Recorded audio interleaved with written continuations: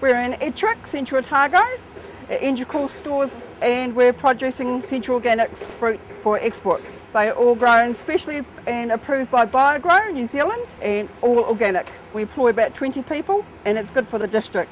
We do a 600 fruit inspection per variety per grower, looking down in the stem end and the calyx for pests, because they mainly harbour down in here, or chewing or insects up around there.